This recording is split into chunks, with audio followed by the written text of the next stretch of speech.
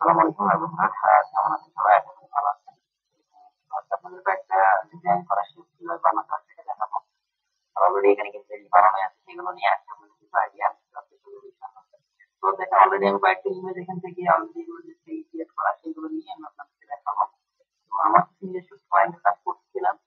এবং নিজের কিছু কম্বিনেশনে আমরা একটা করব, সেগুলো আমি আপনাকে দেখাবো। মূলত এগুলো শেপটা তৈরি করে কি করে, সেটা নিয়ে আপনাদের একটু দেখাই মূলত দেখেন আমি শেপ দিচ্ছি সহজভাবে দেখেন এই যে একটা জায়গাটা নিলাম আহ, আমি নিলাম মনে করেন আপনার যেটা মনে হয় এভাবেই এটা আপনি নিতে পারেন আপনার কাজের পারপাস যেটা আপনার কাছে যেটা মনে আমি এটাকে নিলাম নেওয়ার পরে আমি এটাকে মিরর করব এখানে মিরর অপশন আশা করি এগুলো ফাংশন হয় সবগুলো কাজ আপনি দেখবেন দেখুন কপি করব কপি করে আমার একটা ফাংশন চলে আসলো আমি এটাকে ছেড়ে দিলাম এখন নেক্সট আমি এটা ক্রস করব বাইরের নিচে নিয়ে আসলাম দেখতে পাচ্ছেন বন্ধুরা কন্ট্রোল অল্টার ধরে আমি এটাকে শিফট করে ছোট করে ফেলতে চাই। এটাকে ধরে আমি কিবোর্ডে এক্স চাপ দিলে আমার মোটামুটি ফাংশনটা চলে আসবে। এটা ধরে আমি অল্টার ধরে ডবল অল্টার কিবোর্ডে অল্টার ধরবো, চলে আসবে ডবল হ্যাঁ? এখন দেখেন অলমোস্ট এটা শেষ, এখন এটা সার্কেলে যে রেক্ট্যাঙ্গেল কিছু না সার্কেল আমি এই যে দেখেন, এই প্যারালাল আমি এই প্যারালাল সিলেকশন করলাম। সিলেকশন করে আমি এটাকে আমার মিডিল পোর্শন নিয়ে নিলাম দেখেন এটা আমার মেইন পোর্শন এখান থেকে আমি এক, দুই কিবোর্ডে দুই দিলাম। তো আমি সেম পোর্শন থেকে আমি যেখানে দেখেন দুই পয়েন্টটা এখানে এবং এখান থেকে আমি সেম আসলাম তো এটা আমার মিডিল চলে আসলো এবং আমি এখান থেকে সিলেকশন করে এখানে ধরলাম, এক, দুই, এক, তিন, চার আর তাহলে আমার মোটামুটি ফাংশন হয়েছে ব্যাপারটা চলে আসলো। করলাম। এখন আমি এটাকে ছোট করে দিচ্ছি। তাহলে আপনি এটা করতে পারেন এবং যদি মনে করেন আপনি এটা দুটো দিবেন না, এক দিবেন, একটা করে দেন। একটা করে দেন একটা দেন। আপনি এটা একটা দেন। যদি সিস্টেম করে এগুলো সেটাকে একটা করে দিতে পারেন গ্রুপ করেন, এটা আপনার ডিজাইন পারপাসে যেটা বেটার মনে হবে। ভালো সলিউশন আপনি দিতে পারবেন। সেটা আপনি এখানে ক্লিক করে দেন। ভিডিও করে দিচ্ছিলাম, এখন যখন একটা করে দেওয়া দরকার। এই ছবিটি তুলেছেন আলেকজান্ডার ওয়েনাশভিলি ছবিটি তোলা হয়েছে হাইওয়েটি নির্মাণের পরবর্তীতে আঠারোশো আটানব্বই খ্রিস্টাব্দে। দেখতেই পাচ্ছেন, সেখানে নদীটির উপর বর্জের নিকট দুর্গের স্থানে একটি লোহার ব্রিজও নির্মাণ করা হয়েছে যাতায়াতের সুবিধার্থে।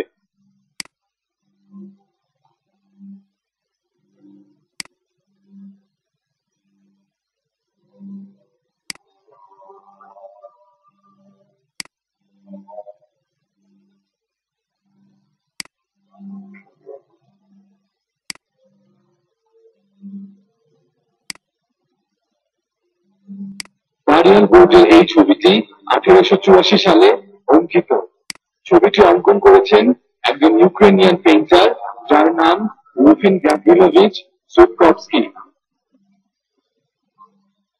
সতেরোশো নিরানব্বই সালে প্রথম এই গিরিপথ দিয়ে কংক্রিটের রাস্তা নির্মাণের কাজ শুরু করে রাশিয়ান মিলিটারি যা পরবর্তীতে কয়েক দফা সংস্কার করা হয় এবং পাহাড়ের মধ্য দিয়ে কয়েকটি টানেলও নির্মাণ করা হয়।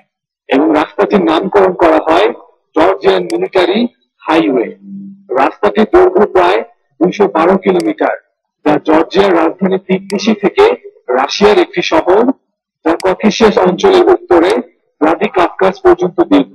এটি একটি আকর্ষণীয় হাইওয়ে যেটা উঁচু পর্বতের মাঝখান দিয়ে এঁকে বেঁকে চলে গেছে।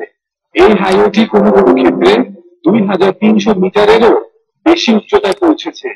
ঐতিহাসিকভাবে দাঁড়িয়াল গোজ খুবই গুরুত্বপূর্ণ। কেননা এটাই ককেশাস পর্বত শ্রেণীকে অতিক্রমের একমাত্র পথ।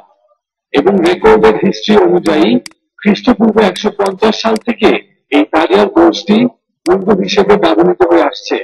এবং দাঁড়িয়াল গোর্জে অবস্থিত দুর্গগুলির ধ্বংসাবশেষ আজও দৃশ্যমান রয়েছে।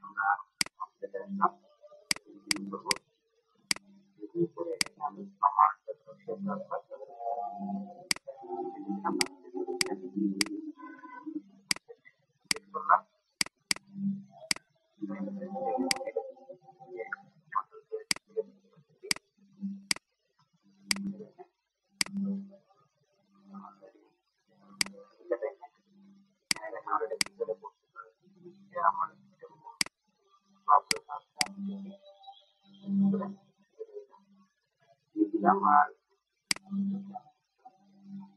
নিরানব্বই দিলাম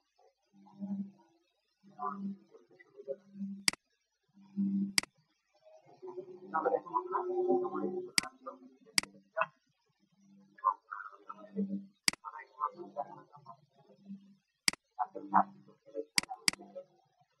ছেড়ে দিলাম কালার কালার দিলাম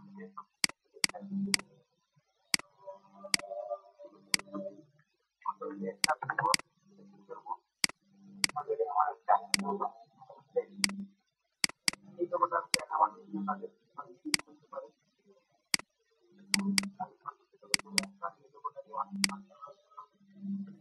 ক্রিয়েট করলেই নতুন মাত্র চলে আসবে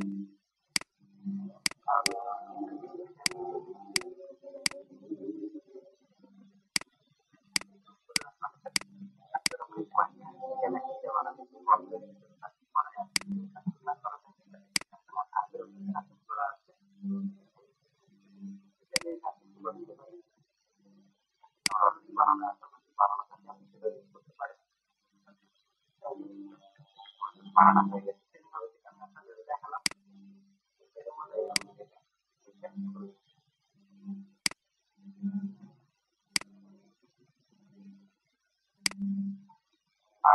আর ভিডিও বানাতে চান আপনারা আবারও একটা বানাই দেখেন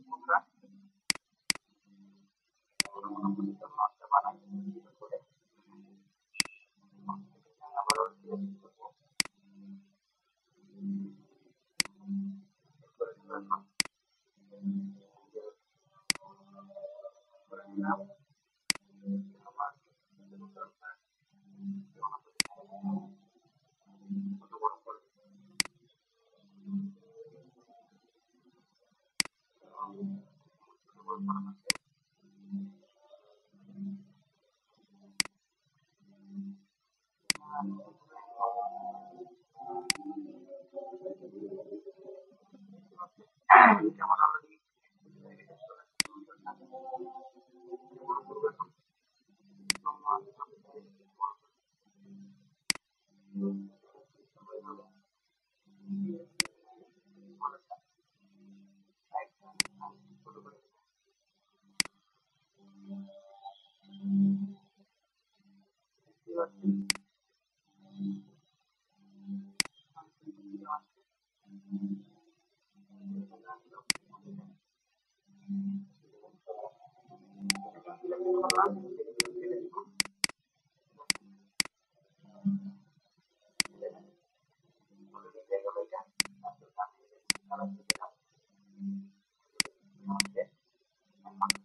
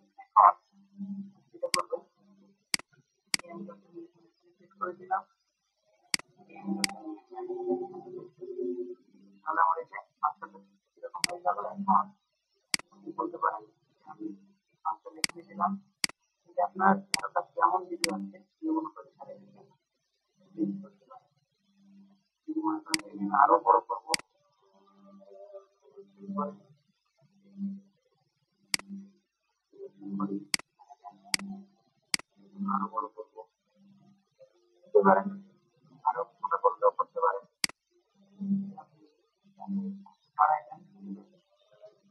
নির্ভর করবে আপনার কাজের কেমন মোটামুটি করতে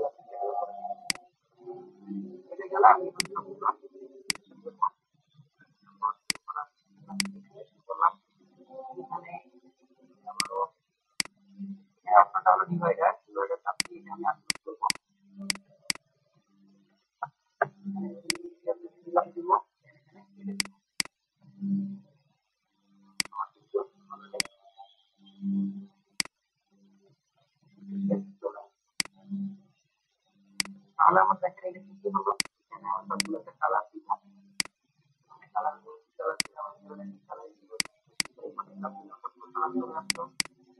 comedy idea.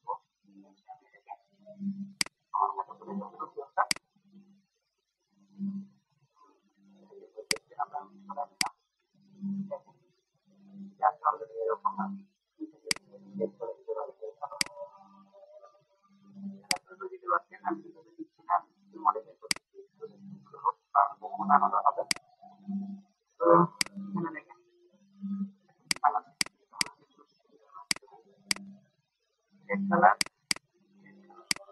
তো আমরা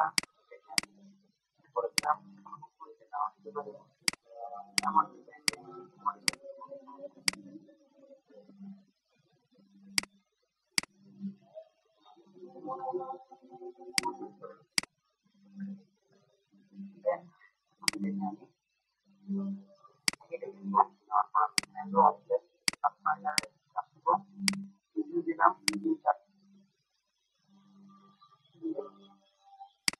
দিয়ে সবগুলো সিলেকশন করে ডিভাইডার সবগুলো আলাদা করতে সবকিছু হিসেবে প্রাপ্য, তা পায়নি পুরুষরা সব সময়ই তাদের শারীরিক শক্তি নারীদের উপর অন্যায়ভাবে এবং নির্লজ্জভাবে ব্যবহার করেছে। তবে সব পুরুষ নয়।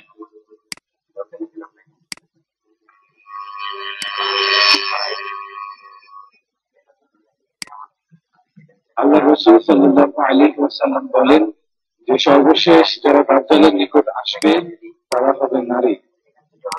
পুরুষরা তাদেরকে কোনোভাবেই আটকে রাখতে পারবে না।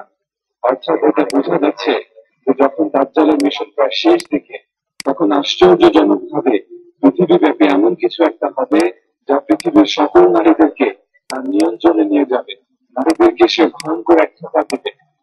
নারীরা মনে করবে, এটাই হচ্ছে সমতা এবং উন্নতির রাজপথ, যা তারা সাদরে গ্রহণ করে নেবে। তাদের কাছে মনে হবে, এটা যেন এক অবিশ্বাস্য বিপ্লব।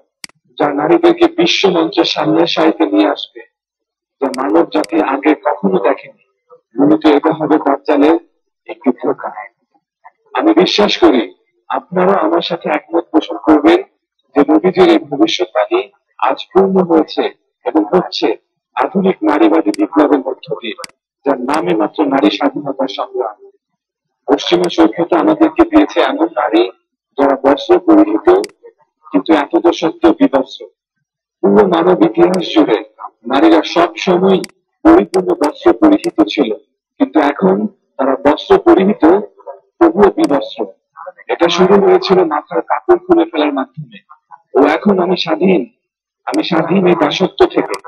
তারপর ধীরে ধীরে হাত অনাবৃত হতে থাকে হ্যাঁ অগ্রগতি হচ্ছে। এরপর স্কার্ট ধীরে ধীরে ছোট হতে থাকে যে আপনি আপনার অগ্রগতি এবং নতুন স্বাধীনতা নিয়ে গর্বিত। এখন তিনি আরও বেশি প্রভোকেটিভ তার পোশাকে।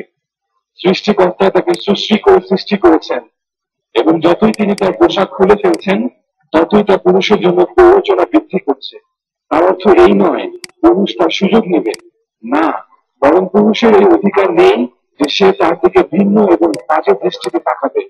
তবে যা কিছু হচ্ছে তা কি দুর্ঘটনা, এটা ওখানে শুরু হয়েছে এবং তারপর তা ভাইরাসের মতো পুরো বিশ্বে ছড়িয়ে পড়েছে। পোশাক পরিচ্ছেদে এক আমূল বিপ্লব, যেহেতু সে পোশাক পরিহিত হওয়া সত্ত্বেও বিবস্ত্র অবশ্যই এর একটি যৌন প্রতিক্রিয়া আছে, যা পরবর্তীতে গোটা পৃথিবীকে যৌন বিপ্লবের দিকে নিয়ে গেছে। স্বামী স্ত্রীর যৌন বন্ধনের মাধ্যমে সমাজের সম্মিলিত প্রচেষ্টায় যে সুদৃঢ় প্রতিবন্ধক তৈরি করা হয়েছিল, তা এই যৌন বিপ্লবের মাধ্যমে ভেঙে ফেলা হয়েছে।